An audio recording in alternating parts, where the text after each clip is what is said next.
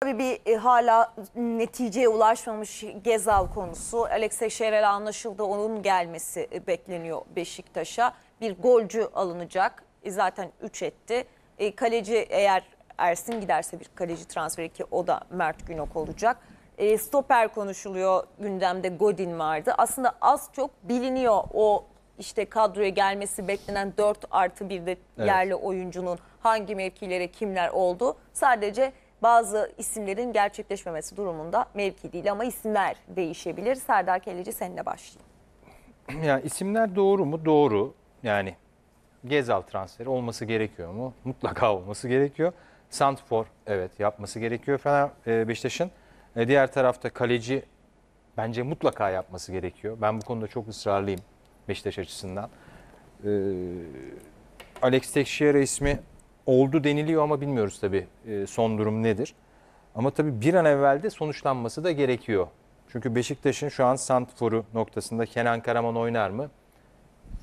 Ya ben şey gibi oynar düşünüyorum. Larin gibi olacağını düşünüyorum. Ya kaybolabilir. Yani. Yani. evet çıkıyor Ben- stoperlerin kucağından falan çıkıyor diyebiliriz belki ama ya Beşiktaş'ın oyununda geçen sene şimdi Abubakar'la ilgili tabii son 6 hafta Beşiktaş'a yaşattığı o sendrom taraftarın hala hafızasında. Ama ben şu tarafına da bakıyorum.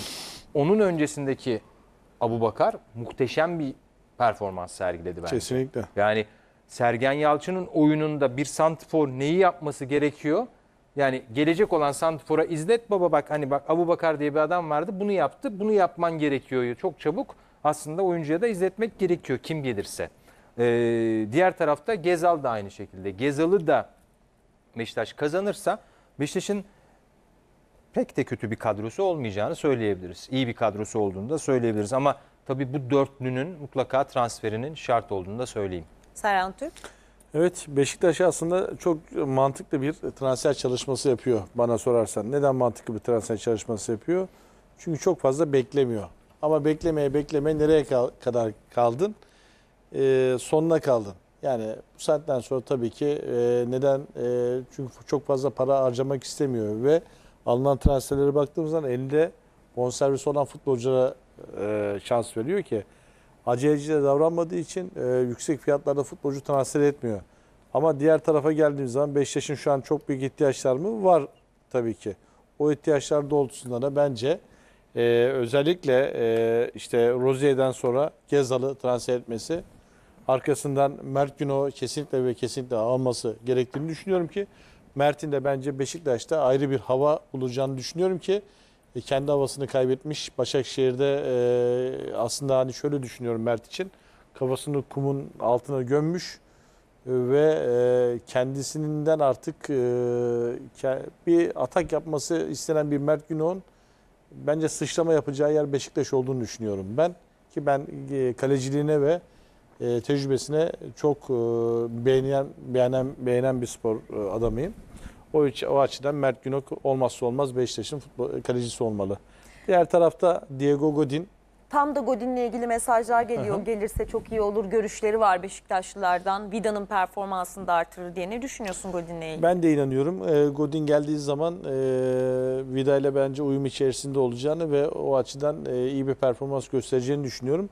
Ama zaten hani biz e, Mert Günok, Diego Godin, Raşit Gezal, Alex Teixeira e, bunlar geldiği zaman bence transferin e, artık kapatmış olacağını düşünüyorum. Beşiktaş'ın zaten Rozier'i de aldığı zaman geçen senenin kadrosunda çok fazla oynama yapmadığı takdirde bence bu sene de Beşiktaş adından söz ettirebilir.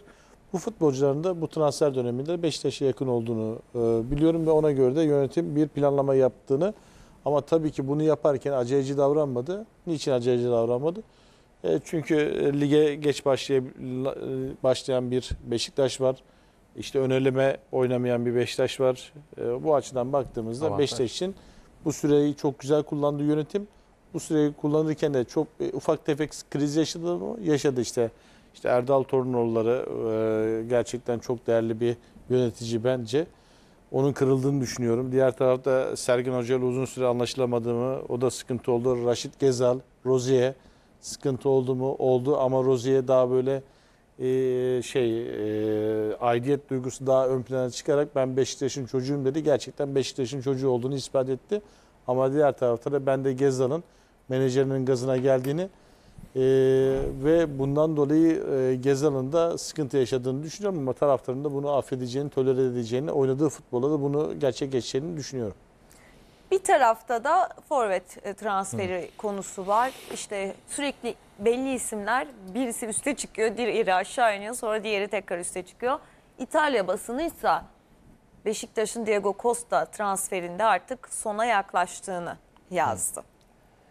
Çok riskli bir transfer. Yani maliyeti olacağı aşikar. Maliyetli bir oyuncu olacağı aşikar ama maç eksiğim, o maç ritmini arar mı oyuncu? Burası çok önemli ama tabii Sergen Yalçın'ın da diğer tarafta bu takımı nasıl hazırladığını hepimiz biliyoruz. Geçen sene fizik kalite olarak e, çok iyi seviyelere vardırdı Beşiktaş'ı.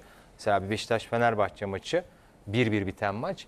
80 dakika oyunu sürklase eden derbi maçında bir Beşiktaş vardı. Puan kaybetti o gün doğru. Fenerbahçe belki galibiyeti kaçırdı son anda 10 dakika ama 80 dakika zaten Türkiye'de bu futbolu oynuyorsan çok büyük bir iştir bu. Ben hep şunu söylerim 60-65'ler bile şampiyon olmak için yeterlidir. Ama Beşiktaş bunu 80 dakikalara kadar çıkarttı. Yine aynı fizik kaliteyi sağlarsa Beşiktaş ve Diego Costa'yı da o fizik kaliteye ulaştırırsa bunu iyi bir e, verim elde edebilir. Ama Diego Costa buna ikna olmaz ve burayı sadece bir ya evet güzel para kazanacağım Falcao edasında gelecek olan bir Diego Costa tabii ki benim korkum. Yaşadı çünkü bu ülke bunları. Van Persie de yaşadı, Falcao da yaşadı. Sayarız, çoğaltırız mı türevleri çok fazla. Yani tek handikap bu. Oyuncunun ikna olabilmesi. Şimdi e, başka isimler de gündeme geliyor. Senin peki Beşiktaş'a en uygun dediğin bu isimler arasında kim? Mesela De Jong gündeme geliyor, Luke De Jong. Şunun olması lazım. Yani oyuncunun burada mesela stoperde Godin'e neden karşı değilim? Çünkü çok profesyonel bir adam. Yani 35 yaşında olmasına rağmen neden karşı değilim? Çünkü bu adam son 10 senedir 30 maçın altında maç Ne yaptığını biliyor. Evet yani Adam ne yaptığını biliyor, gittiği nerede kariyerde duracağını de biliyor. aynı, diğer Aynen. kulüplerde Atletico Madrid'de de aynı. Her yerde bu adam 30 maçın altına düşmemiş. Bana katılır mısın bilmiyorum ama ben de öyle düşünüyorum. Stoperde tamam bir genç oyuncu alacaksın. Ama gencin yanına da bence bir tane böyle tecrübeli oyuncu alman lazım ki onun tecrübesinden faydalansın. Yetiştirmek Çünkü şöyle bir şey genç oyuncu hızlıdır arkasını alabilir. Ama yeri geldiği zaman o e, tecrübeli oyuncu da gencin arkasında nasıl boşluk olacağını bulup arkasına kademe alabilir. Doğru mu? Tabii yani şimdi o stoperden neden Godin'e örnek verdim? Godin gibi olacaksa bir oyuncu Santfor'da da yani Ona o, itirazın yok. o azmi gösterecek ama oyuncu. Çünkü Abubakar'ın Sergen Yalçın Abubakar'a şunu söyledi. Sen ne kadar stoperlerin kucağından çıkarsan bizim iç oyuncularımız ve kenar oyuncularımız o kadar yol bulur dedi. Şimdi bunu yapmadığın zaman Sergen Yalçın oyunun bir kıymet harbiyesi kalmaz. Bunu Larin'le yaşadı Beşiktaş mesela geçen sene. Larin'in oynadığı, Santfor oynadığı maçlarda Beşiktaş'ın oyunu verimsizleşti. O yüzden Diego Costa ya da başka bir isim, De Jong ya da başka bir isim hiç fark etmez. Bu oyuna ikna olması ve bu fizik kalitede çünkü hocanın istediği şey kolay bir şey değil. Stoperlerin kucağından çık, orta sahaya kadar gel, top al falan bunlar futbolda çok kolay işler değil. Peki Şampiyonlar Ligi'nin de olduğunu düşünürsek sonuç itibariyle alınacak oraya bir oyuncu yeterli olacak mı sizce? Güvenden iyi bir verim alabilecek mi bu sezon Sergen Yalçın? Onu da merak ediyorum ne söyleyeceksiniz? Ya iki santifor elbette.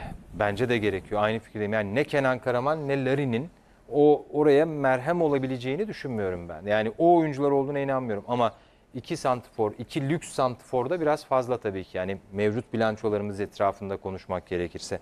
Ama Güven Yalçın'la ilgili ya hoca bunu net bir şekilde ifade etti. Yani belki ben yararlanamadım dedi. Tevazu gösterdi Sergen Yalçın. Ama ya oyuncunun bununla ilgili bir istek duyması lazım ve bitmiş bir hikaye demiyorum ama bitmişle başladığın zaman olmayabiliyor işte. Yani yine aynı şeyi bekleyelim. Hadi Güven Yalçın'dan bekleyelim. Ne bileyim Umut Nayır'dan bekleyelim. Hep bekliyoruz. Şimdi e, Beşiktaş'ın yaptığı transfer